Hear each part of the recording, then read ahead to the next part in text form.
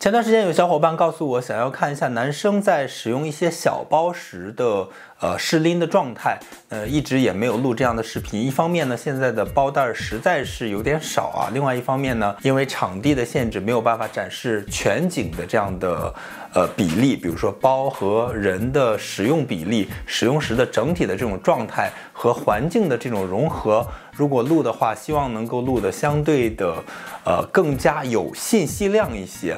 那今天我们来聊一个什么事情呢？就是哪些包男生是可以用的，或者是我们会发现有一些男生的这种气质，它是可以驾驭很多种包的，即便是我们所认为的那种非常标准的女士包，男生用起来也都没有问题。那一开始呢，像铂金三零、铂金二五，我们都会觉得这是女包，像凯莉二八。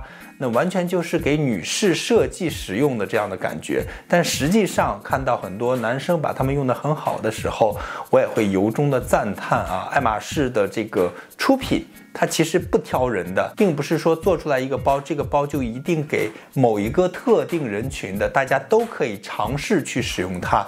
后来我发现，呃，竟然有男生把迷你凯莉二代这样的小包用的也很好看，像迷你康康也用的很好看，包括 Holy。一般来说，女士使用男士的东西，大家好像还是比较易于接受的。比如说，一位女生用了一块男表，或者是一个女生穿了男士的衬衣，那其实我们还是喜闻乐见的，对不对？甚至女。生用了一个很大的包，我们都会觉得是一种反差萌。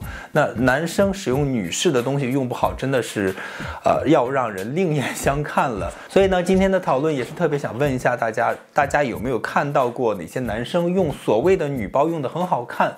那他们两个是怎么匹配在一起的？男生有哪些气质特点？那这个女包。为什么我们会认为它是女包？但是他们两个放在一起的时候，或者说男生在驾驭这只女包的时候，为什么看起来一点违和感都没有呢？那其实作为我来说，会有一种感觉，就是我们要自信的去用包。那我自己是比较大只了，一米八几的个子，最近还在练肌肉啊，所以呢身形可能会相对大一些。我自己最近换的笑脸包，其实在早些年也是传统意义上的女包，但实际上我会觉得，只要我有东西。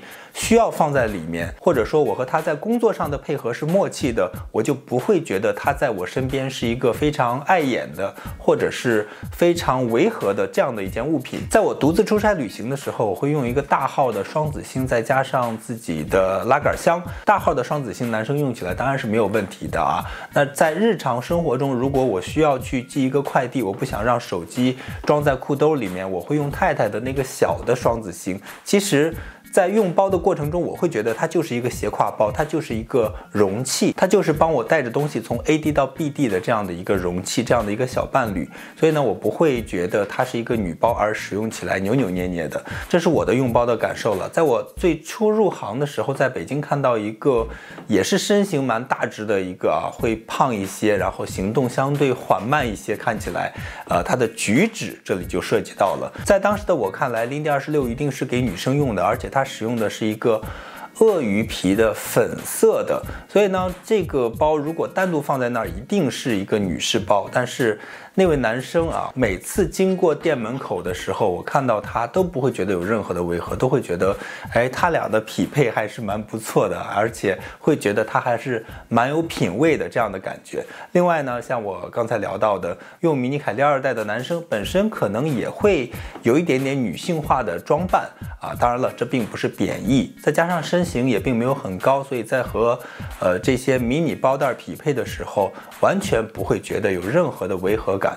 大家在日常生活中看到过这样的场景吗？会觉得哪个男生用女包用的让我们很佩服？亦或者大家本身啊是男生，然后在使用所谓的女包的时候，也可以用的很好看？那你又是怎么做的？